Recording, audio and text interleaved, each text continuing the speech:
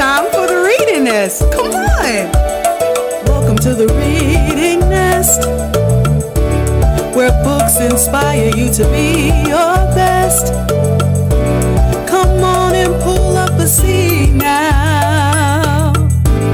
We've got adventures to explore.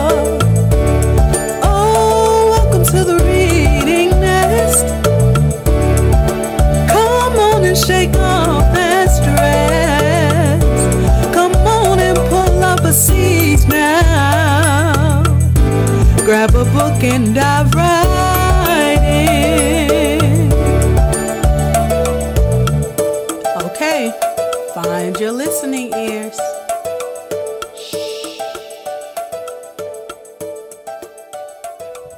Hey everyone, and welcome to the Reading Nest. I'm Patrick, and I'm so excited that you joined me today. Today's story from the Nest is called Sing a Song How Lift Every Voice and Sing Inspired Generations. I chose this story because of the time in life that we're going through at this moment. We have a new president elect, we have a new vice president elect, and there's so much happening in the world right now that we just need inspiration to bring us joy and know that everything is going to be all right.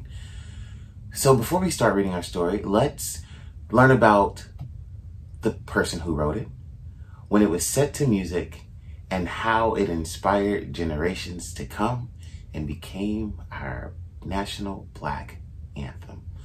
I hope you enjoyed this video as much as I did. See you soon. James Weldon Johnson was an early civil rights activist, writer, politician, educator, lawyer, and a leader of the NAACP. He was also a leading figure in the creation and development of the Harlem Renaissance. Johnson graduated from Atlanta College, which is now known as Clark Atlanta University, and became a principal in a grammar school in Jacksonville, Florida. His brother John Rosamond Johnson was a composer, conductor, and actor. He composed and performed in stage plays, musicals, and operettas. He returned to Jacksonville and served as the musical director at the Bethel Baptist Church. In 1900, James Weldon Johnson wrote Lift Every Voice and Sang, and his brother John set it to music. The song was first sang and performed in the Johnsons' hometown of Jacksonville, Florida, as a celebration of Lincoln's birthday and it was sung by a choir of 500 school children where James Weldon Johnson was principal.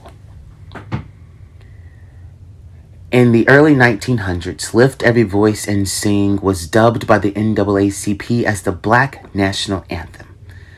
This song for more than a century has held a powerful place in African American history. The song is a history lesson, a rallying cry, a pledge of unity and as a people gather to fight for equality and justice. I hope you enjoyed the video. Now let's read. Sing a Song, How Lift Every Voice and Sing Inspired Generations, written by Kelly Starling Lyons and illustrated by Keith Mallett.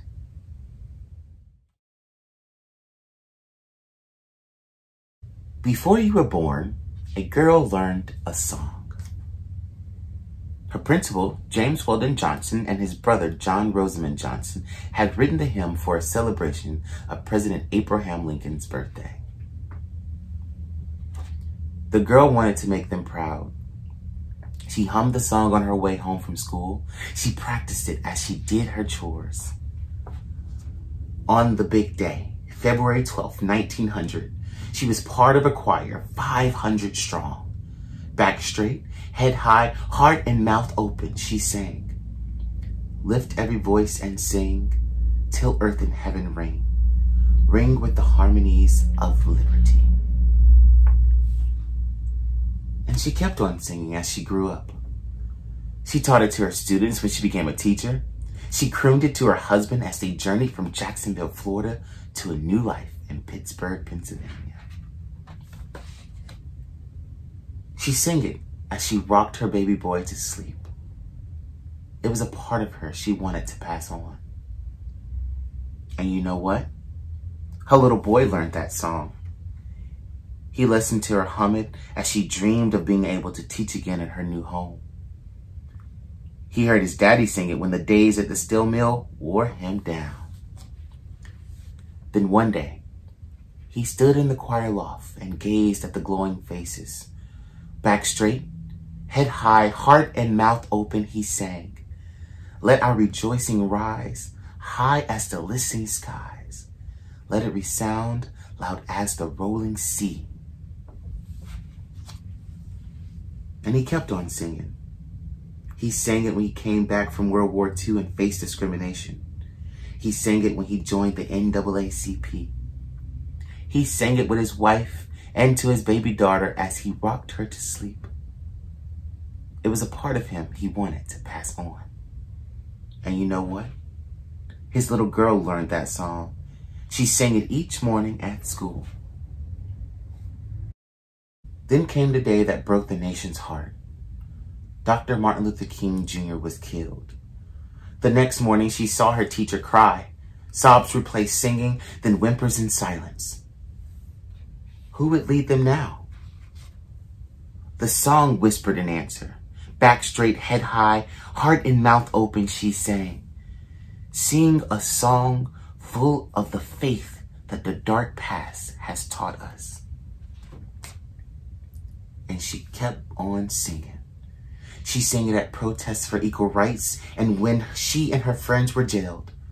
She sang that song in her heart each time she won or lost a case as a lawyer. She sang it to her baby boy as she rocked him to sleep.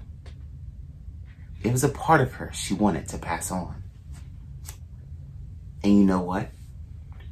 Her little boy learned that song. Every family reunion opened with that anthem. He sang because he had to at first. But then something changed. He saw the awe in his grandparents' faces, saw the pride in his mamas and pops. Back straight, head high, heart and mouth open, he sang, Sing a song full of the hope that the present has brought us. And he kept on singing. He sang it at his college graduation and when he opened his first business. He sang it at rallies to stand up against racism. He sang it holding his wife's hand at Black History programs and he rocked his daughter to sleep. It was a part of him he wanted to pass on. And you know what? His little girl learned that song. And on another big day, September 24th, 2016, she stood in a crowd of thousands along with her mama and daddy. President Obama, the First Lady, and generations of one family rang the freedom bell, a dream born a century ago. To honor Black lives and contributions had finally come true.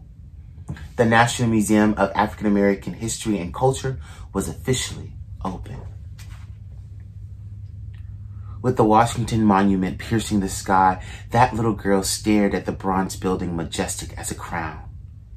As bells around the nation tolled in triumph, she heard a voice rising too, clear and strong. It was a song she heard her parents sing.